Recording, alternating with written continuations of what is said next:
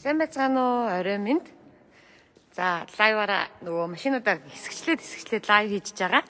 За, яг одоо бол Lexus 570 автомашинуудаа бэлэн байгаа автомашинуудаа танилцуулчих. За, манай дээр яг өнөөдрийн байдлаар 7 ширхэг Lexus 570 байна. 2013 оноос 2020 он хүртэл байгаа. За, яг 570 сонирхож байгаа хүмүүсийн хувьд асуугаад мэдээлэл аваад за, ялгаа ер нь бензин эдэлт ямар байдгийг те машин талаар бас мэдээлэл авч болно шүү. За 5 талын түүхийг ярил Lexus 470 2007 онд дуусаад 2008 оноос Lexus 570-ыг үйлдвэрлэж эхэлсэн байдаг. Манай нөхцөлд бас хамгийн мундаг шалгарцсан автомашин те манай Монголын нөхцөлд бол. За тэгээд 8, 9, 10, 11, 12 онууд маань байхгүй байна. Ерхэд бол дууссан. Одоо 13 оноос 2020 оны хооронд байгаа учраас шууд 13 оны тавдлаа танилцуулчих. За энд 2013 оны Lexus 570 байна.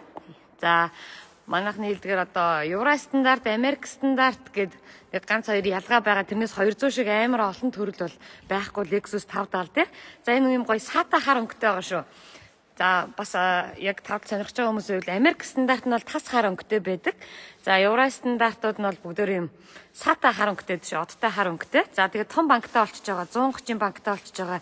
Америкууд бол 90 банктай байгаа. 90 литрийн багтаамжтай. За тэгээд 90 банктай бас тавдлууд бензин голоод идэг гэд ерөөхдөө болж өгвөл бодвол тавдалд 95 хийвэл өх зүгээр шүү. За тэгээд аюулгүй байдал 5 тух бол мэдээж номер 1.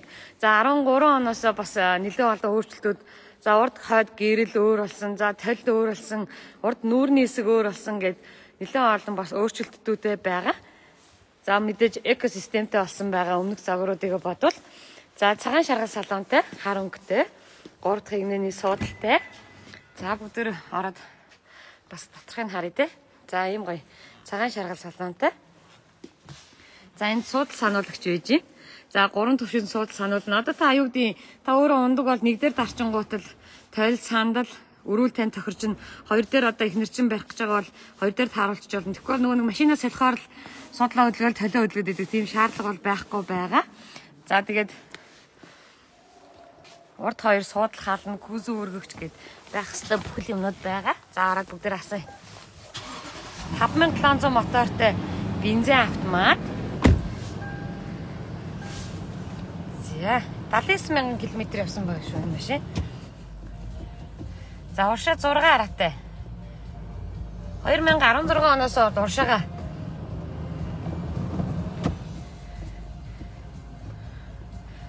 Уршаа 8 араатай болсон байгаа. За 13 оноос экосистемтэй. За урд хянах электрон болсон байгаа. Жолоочд бас өгөх мэдээллүүд маань урдаараа шууд гараад ирчихэж байгаа. За энд бол гурван тал камер байж гин За гурван талаа харах боломжтой. За ийшлээд суудал халаагчуд байж гин. За энд күз өөрөгч, carol control system хөндрүүлэгч гээд байж байгаа.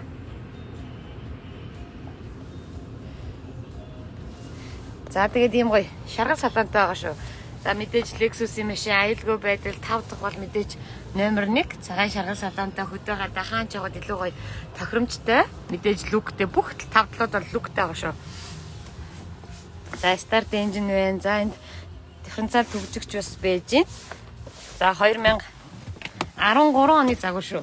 2013 оных үний хувьд бол 128 сая гэж байгаа. 79 мянган километр явсан. Хар өнгөтэй цагаан шаргал салонтой. Үний хувьд бол 128 сая гэж байгаа шүү. За энэ машиныг лизингээр урдчилгаатаа хамгийн багадаа 20% төлөөд бизнесээ орлоготой бол 8 жилийн хугацаатай авал За урдчилгаа 25 сая төгрөг төлөөд сарын сая 800 мянган төгрөг төлөөд явах боломжтой юм биш үү? Манай банкныхан бас мэдээлэл бичсэн байна. За энэ бас дунд онтой тавтал байна. 2014 оных. За 13 14 он гаднаас бол нэг ялгагдах юм ерөөсөй байхгүй. 13 14 15 ижилхэн. За тэгтээ бас нэг жоохон ялгаа байгаа. Энд юм энэ 14 оны гэрэл нь голдоо юм. Зураастай байгаач. 13 нь болохоор зураасгүй байгаа. Өөр бол ялгаа бол байхгүй шүү. Гаднаас бол яг ижилхэн 13, 14, 15. За энэ 2014 оных Америкаас орж ирсэн галийн бичгтэй Lexus 570 байна. Сая орж ирсэн. Орж ирээд 7 хонжнуудаа юм гоё цагаан өнгөтэй цагаан шаргал салонтой Америк стандарт Мэдээж 5700 V8 бензин автомат. За Америк стандарт болохоор 90 банктай олчж байгаа. За яг саяны хавтаа ажиллаган гоё юм салонтой. Галийн бичгтэй бас нэг давуу тал нь. Галийн бичгтэй байгаа. Цагаан шаргал салонтой. 3 дахь игнэний суудалтай. За хойно DVD-тэй гээд байх хэвээр юмнууд бол бүгдөө байж байгаа. За үнийн хувьд бол 175 сая гэж байгаа шүү. Үнийн хувьд бол 175 сая гэж байгаа. 2014 оны 8 сард үйлдвэрлэсэн байлээ гайлын бичгтэйгээ байгаа. За энд 2013 оных 2013 онд орж ирсэн Lexus 570 байна. Яг түрүүний хартай ажиллагаан цагаан өнгөтэй цагаан шаргал салонтай. Үнийн хувьд бол Үнийн хувьд бол 129 сая гэж байгаа шүү. За зөвхөн 570 танилцуулаад бичлэг хийж байгаа шүү. Та бүхэн бас За өөр машинуудаа сонирхсан хүмүүстээ дахиад дараагийнхаа лайвыг хүргэн одоо бэлэн байгаа 7 ширхэг тавдлуудаа танилцуулж байгаа. За үнийн хувьд бол 129 сая гэж байгаа шүү. За дунд онтой 5 бол 3 ширхэг байгаа. За энд 2017 оны Lexus 570 байна. 17 оны 2018 оны 12 сард орж ирсэн Америк стандарт юм гоё бор салонтой байгаа. За салоныг хараад үзүүлчихье. За нэг бас он залуугаа бас урдуулж байгаа үзүүлнэ. За юм бор салонтой. Бор салонтой байгаа. За энэ болохоор шинжлэгдсэн загвар шүү. Би удахгүй очиад бас үзүүлье. Өөр дээр өөр өөр 200 дээр үзүүлье. Тавтал дээр үзүүлье. Үүний хувьд бол 239 сая гэж байгаа шүү. 2017 оных За энд 2018 оны Lexus 570 байна. Америкаас орж ирсэн галийн бичгтэйгээ байгаа. За ийм гоё титанаас саарл өнгөтэй шүү. Галийн бичгтэйгээ 26 мянган майл явсан. Үүний хувьд бол 289 сая гэж байгаа. 289 сая гэж байна. За салооны хувьд хар саарл салонтай. Мэдээж 3 дахь игнэний суудалтай Уршаага 16-аас уршаа 8 араатай болсон байгаа шүү тавдлууд маань 5700 V8. Үүний хувьд бол 285 сая гэж байгаа. Үүний хувьд бол 285 сая. За ижлээд 2016 оны 2017 онд оржсэн Lexus 570 байна. Үүний хувьд бол 200 35 сая гэж байна. За энд 2020 оны Superior загвар байна. Манай дээр ганцхан ширхэг үлдсэн байгаа 6 ширхэг ирээд одоо ганцхан ширхэг үлдсэн байгаа. За бүгдээрээ супериор хасаагаад үзээд явчих. За тэгээд э, хаалгаас хордог 570. Хаалгаа 5 төрөд хаалгаас хордоггүй байсан. Энэ тавтал маань хаалгаас хордог болсон байгаа хараа. Одтой хар өнгөтэй 21 инчийн ободтай. За тэгээд Superior маань 21 оноос арай суудл хэрэгсээ ойдолтой болсон байгаа. Хаалгаас хордог болсон байгаа. За тавдлууд бүгдээрээ хажуудлын шил давхар байгаа. За талин дээрээ гүц төрөлгөд өгдөг систем гэх мэтчлэн тоноглууд бас нэлээд өндөр байгаа. За бүгдээр асуугаад асаагаад бас доктортой танилцъя те. 2020 оны тавдал. Гэтэ 20 оных ч тэр 16 оных ч тэр ерөөдөө явах үедээ за функцийн хөвдөл бүгдөө ойролцоо байгаа.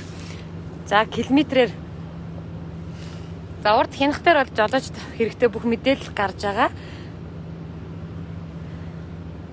За одоо 117 идэж гин гэх мэтчлэн дээр ингээд жолооч дугууны хийж тэгээд юм уу те. За.